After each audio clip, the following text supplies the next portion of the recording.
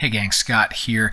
I have a compositing tip for you for using ON1 to do a very straightforward compositing for landscapes. This is something I'll do often where I've taken a series of photos of the same scene and there's just one or two things that I prefer uh, from one photo over the other. I've got an example of this that I, I think is, is perfect for this type of technique. I'm going to share it with you now. So I've got these uh, photos of uh, you know one of my favorite lifeguard towers in uh, in Torrey Pines, where uh, I, I, just I, I, enjoy this subject, and the, the clouds were pretty cooperative, right? You know, I, I like I like the clouds that are going on here. Uh, that there's there's like some open space. This is kind of like you know almost beneath the opening there. Uh, but the the ocean, I'm a little less of a fan on this photo. And then you know a couple moments later, took this shot. I kind of like the way the surf is. The beach hasn't changed at all. The sky is not as good to me as this previous one here. So I want to take the sky from this, and I kind of do like the, the fisherman there for a, for a, a sense of scale. But I want this beach. And so this is a lightweight job for layers and layer masks and uh, I'll do this in uh, I'll do this right in uh, in, in effects because I'm in Lightroom. I know I want this photo to go into effects to do work on it. I'll take both photos into effects and load them in as layers and do the work there. So let me show you how that works. Go to my grid view. I'm selecting both of these photos.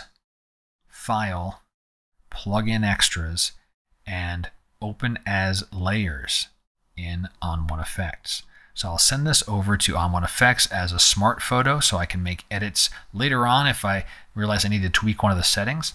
We'll get this over into Effects and do the blend. All right, those two images have landed in effects, and you're probably noticing, oh gosh, you know, Scott, you've got, you know, like you got vignetting at the corners, the, the horizon's all tilted. I know all of that. I just want to keep the photos exactly the same uh, and do my blending, my compositing, and then I'll go correct things later on for this video, I want to show you the compositing thing. So top image has the ocean I like, right? So I turn the off, we see the ocean disappear. The bottom one has the sky I like. So I'll call this one, double click, ocean. And this one is sky and fisherman, right? So how do we do the blend here? Well, for the ocean, the, you know, the way I tend to work with my masking is I like to turn off the top layer. I'll invert the mask so I don't see any of these pixels. And then I use a mask to reveal the pixels that are here, you know, show them. It's a simple gradient. Linear top will work great. I'll click on it. And in this case, I will align it with the horizon, lower it down a little bit. And the lower part of the clouds really didn't change. There's nothing moving at all this tower. And so what have I done? I have revealed the ocean in this uh, this layer here. Know, if I turn this off, we'll see the bottom part of the photo change. I've got the ocean I like. I've hidden the sky so I see the sky from my sky and fisherman layer. And that's exactly what I want. Now, I mentioned I liked that uh, fisherman too, so we'll go one step further. We're going to do a little a little bonus blending here. Is I want to get that fisherman and bring uh, him or her back into uh, the scene here. And once again, I like to do that with you know individual layers. So I know I've got the fisherman on this layer here. Let's duplicate it.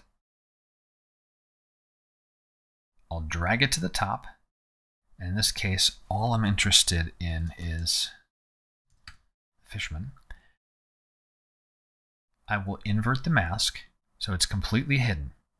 Now, the, the trick, let me, let me turn this back on for a second. Looking at this area of the photo, the person is mostly in silhouette.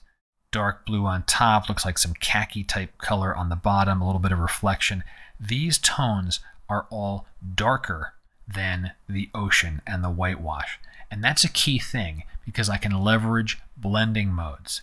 And if I use the darken blending mode that says the layer I said darken blending mode, only show me the dark pixels compared to what's beneath it. So when we look at that in the layer stack, Let's zoom back out here. And I'll close this up for a moment. Imagine we're only paying attention to, actually, let's do like this. We're paying attention to this area. This is where we're going to do our masking. Turn it off. What do we see here? Mostly the same tones. Some bright whitewash, some moderate, uh, you know, mid-tones there and the sandy tones. And then we see a darker silhouette. We'll take the fisherman layer. Actually, don't even need the masking open right now.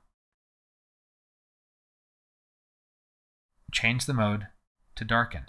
Now look what happened before and after. Right? We see some changes because like this area here in the layer above, it's darker than what's below. Right? This was all whitewash, and in the fisherman there was more going on.